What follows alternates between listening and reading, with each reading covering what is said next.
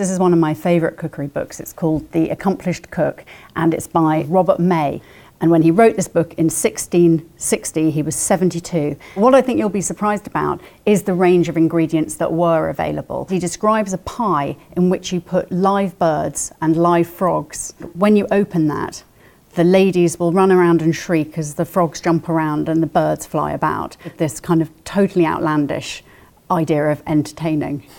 I just can't get over what you've just said, to, to, be really honest with you. It is all about a show.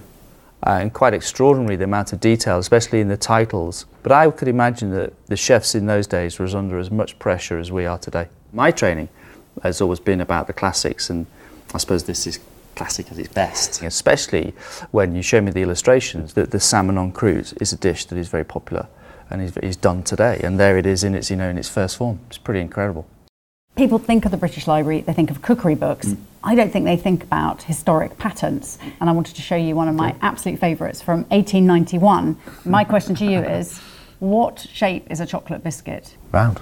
No, it's that not. is the patent for the first really? chocolate biscuit. So the, the patent is the shape and the layering, and of course, I assume the name as well it's all of those things. Thing. So it's quite unusual mm. to get a patent for food. This is why I particularly like it because it's an exception to that. And here is one I think you'll like. Here's a triple egg timer, so you can have a soft boiled, a medium boiled, or a hard boiled egg.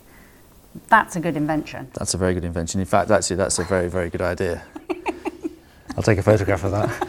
I've never seen one of those. That actually works. That's a great idea. Because everyone says, you know, how do I get my eggs? Everyone has them differently. Oh, my family would love that. I think this might be the beginning this of a great empire. This is it. This is it. And it started right there. this is, I think, a gem of the Victorian era, which is Theodore Garrett's Encyclopedia of Practical Cookery. Mm. And I just wanted to show you, for instance, lobster. He gives 71 recipes for lobster. I mean, that is. That's a lot of recipes, really. Yeah. This is the building blocks of the cookery that we cook today, without a doubt. So the books were very much part of can I do it? Can I go into a kitchen and can I just play around with these? So reading these was, was really important. And so you also see in the 1890s patent applications for lobster crackers. Oh wow. These aren't just kitchen utensils, these are very much front of house. They are for the for the people and the clients to actually enjoy as well. To sit in the environment of that beautiful buffet that's been laid out for the guests with this with this sort of cutlery. Yep. I thought I was the woman who had everything, and then when I saw this, I felt a bit disappointed. Well, that's really nice. In addition to all the incredible printed material that we have relating to food at the British Library, we also have enormous collections of oral histories of the food industry. And I wanted to just play you an interview by a man called Wing Yip describing when he first came to the UK in the 1950s and working in a Chinese restaurant at that time. I think a lot of people never had a Chinese food before. They go into the Chinese restaurant because the other English restaurant closed at half past nine. Everyone come in want a bread and butter as well. They want a curry, chicken and rice and bread and butter. Mixed grill, bread and butter. Everything is bread and butter. True, bread and butter, chips.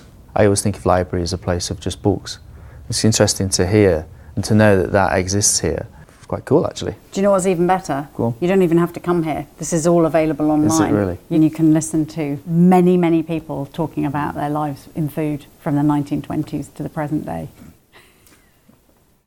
This is one of my favourite cookery books by one of my favourite cookery writers, Mrs. A.B. Marshall. This book, Fancy Ices, was really her speciality ice creams and ices. That must have been exciting for people to try taste flavours of ice cream and just so new. And she had her school in London. And of course, this ice trade in the late 19th century, very, very important and allowed for this, this to happen. This creativity. Mm in restaurants, shops, and in private homes. I was going to ask you where to get the ice from, and it's sort of where do they make it? They don't make it. It's brought from somewhere a long way away. I mean, that must have cost a fortune. That's quite bizarre, isn't it? When you think ice came from a cold place, yet you taste something today you just completely take for granted. I'm going to go and tell my children that.